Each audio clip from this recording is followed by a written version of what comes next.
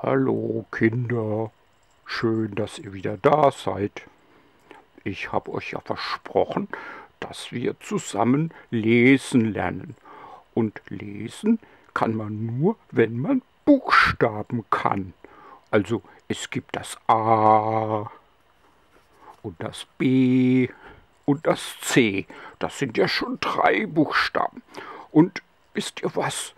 Die kommen heute alle zu mir und stellen sich vor. Ich muss sie nur rufen. Hm.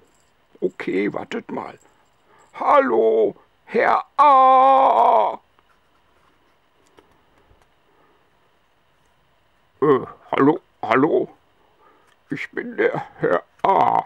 Ihr seht das, wenn ihr meine Nase anguckt. Oh ja, Herr A. A. Nein, nicht A, A, sondern A und nach mir kommt das B.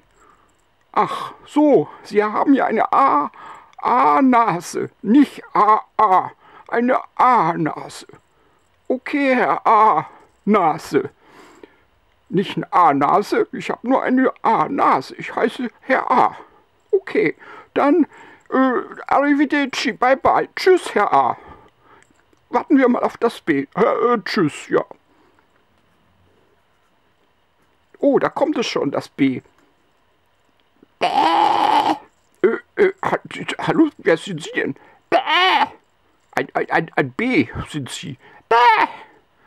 Ein, ein, ein B? Bäh. Sie sind ja ganz schön frech. Sie dürfen wieder gehen. Da ist mir doch das C viel lieber. Bäh. Oh, da kommt schon das C. Hallo? Äh, hallo, Herr oder Frau C?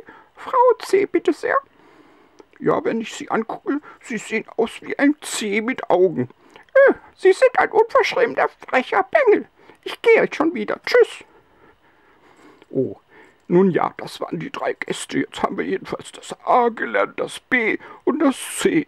Und das nächste Mal lernen wir vielleicht lesen. Hm, okay, tschüss, Kinder.